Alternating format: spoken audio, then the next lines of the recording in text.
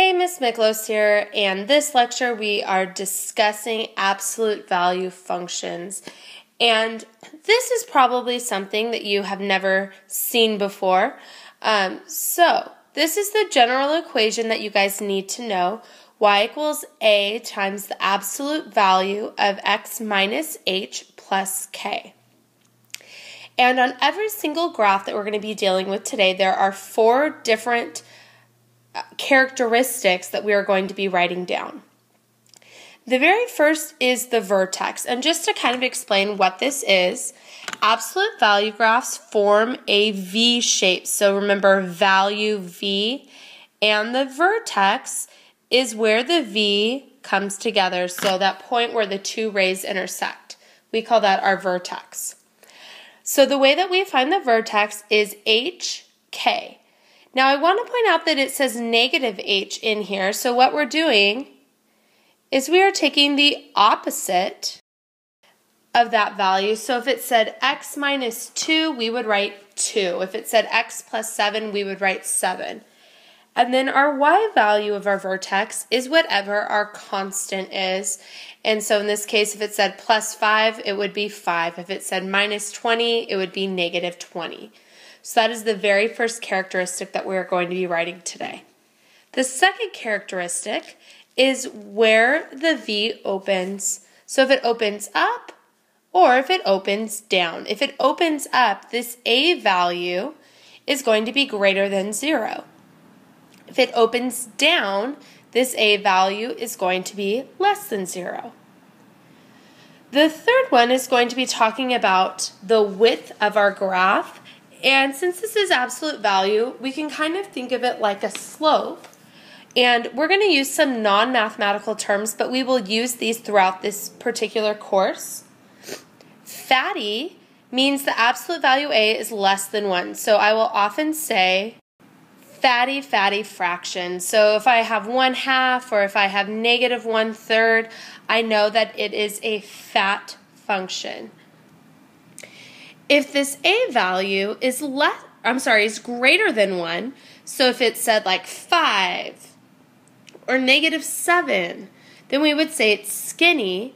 And if it's equal to 1, so that would be a coefficient of 1 or a coefficient of negative 1, then we would say that it is normal.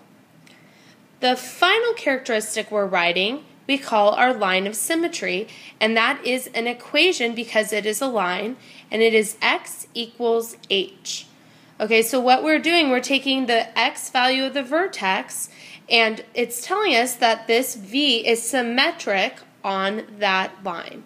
So on every single graph today, you guys should be writing these four characteristics down. So let's get into an example here. Number one, um, the directions tell us to graph and list the four characteristics. And our graph is f of x equals the absolute value of x plus 4. So the first thing we're going to list is our vertex. We said to find the x value of our vertex, I'm taking the opposite of the value inside the absolute value symbol. So since it says x plus 4, I'm going to write an x value of negative 4. Our y value we call k, and that's whatever we are adding back here. Since I'm not adding anything, I would say our vertex is at negative 4, 0. Our second thing we need to figure out is, is this v, is this absolute value graph going up or is it opening down? So we need to look at our a value. Okay, our a value is the coefficient out in front of the absolute value sign. So in this case, I don't see anything, so we know that that means that it is really 1. So since a is equal to 1, 1 is positive, so we're going to say that it opens up. Also, since a is 1, we would say that it is normal because the absolute value of 1 is equal to 1. And our final characteristic is our line of symmetry, which is x equals, and then I'm going to look in my vertex and I notice negative 4 is the x value in my vertex. So I'm going to write x equals negative 4. Now, when I'm graphing this, I'm going to begin at negative 4, 0 and put a point. Up and normal means that I'm going to go up 1 and over 1 in both directions. And I'm going to go ahead and draw my V. The final thing I'm going to sketch is our line of symmetry, and that is a dashed line because these are not solutions. But it's showing that I understand that if I fold it on this line, these two sides are really symmetric to one another. So this would be our graph of our absolute value function. Let's do one that is a little bit more difficult now. So if we look at number two, there's definitely more stuff going on. First thing I need to figure out is our vertex. So I'm going to look inside absolute value, I have negative 1, so we are going to write 1. After the absolute value, I have plus 3, and I know it's kind of, my writing didn't show up that well. But what that means is that my y value in my vertex is going to be a 3. For our next two characteristics, we need to figure out what is our a value, and looking at it, our a value here is equal to 4. So a few things that tells us. Since 4 is positive, we know that this is going to be going up. Also, since 4 is greater than 1, the absolute value of 4 is greater than 1, we would say that this is skinny. In fact, we're going to treat this like a slope, and instead of going up one to the right one, I'm going to go up 4 and to the right one. The final characteristic that we are going to write down is our line of symmetry, which is going to be x equals this time my x value here is 1.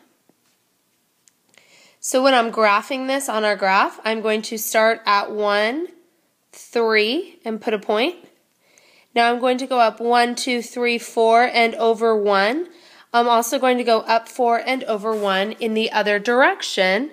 And now I'm going to try my best here to draw a nice V shape. I'm also going to sketch my line of symmetry, just showing that I understand that this V is symmetric. And our final example of the day, y equals negative 1 half times the absolute value of x minus 1 plus 2. So we're going to go ahead and list out our characteristics. So the first characteristic, once again, is our vertex. So I'm going to have to go ahead and figure out what is the opposite of negative 1. And that is 1. My y value would be 2 because that is what we are adding after our absolute value. This time, our a value is negative 1 half. So I need to think, should this be opening up or down? And since negative 1 half is negative, it's less than 0, we're going to say that it opens down. The third characteristic is if it's fatty, skinny, or normal. So if we look at negative 1 half, the absolute value of that is less than 1. That is a fatty, fatty fraction. So we're going to say it's fatty. And finally, our line of symmetry we know is a vertical line, so it's x equals, and our x value in our vertex is 1, so I'm going to write x equals 1. So when I'm actually graphing this, I'm going to begin at 1, 2. It's down and fat, and in fact our a value is negative 1 half. So I'm going to go down 1 and to the right 2 in both directions. Lastly, I'm drawing my line of symmetry to show that I understand that it is symmetric. The final concept that you're going to be learning is looking at a graph and writing the equation of it. Okay, so whenever I see a V-shaped graph, I know that it is in the form of our absolute value. So, I know it's going to be y equals, or we could write f of x, it doesn't matter. Absolute value of x, I might be adding something, I might be adding something after, and our a value might be a little bit different. So the very first thing I need to figure out here is what is our vertex. And our vertex looks like it is at, it is at 2, 0.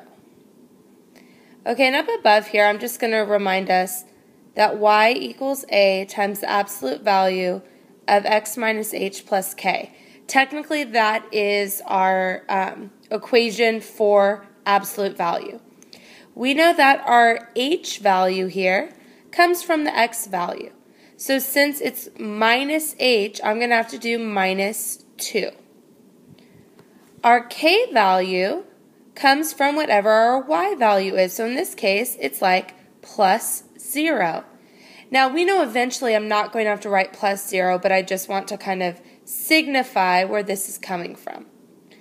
Lastly, to find our a value, okay, a is kind of like a slope, so I'm going to look and see what's happening, and it looks like it's going up one and to the right one, so that would be like a slope of 1. So I'm going to write this as y equals the absolute value of x minus 2. That would be our final answer. Final problem of this lecture. This time, okay, we need to figure out where is this vertex. It looks like the vertex is at 0, 3. So that means inside absolute value, I am just going to have an x because it would be like x minus 0, and I don't need to write the minus 0. This 3 value is going to be added after our absolute value symbol. Now the final thing we need to figure out is what should our a value be. So I'm going to pay attention here, and it looks like we're going down 2 and to the right 1, which would give us a slope of negative 2. So my equation here is y equals negative 2 times the absolute value of x plus 3.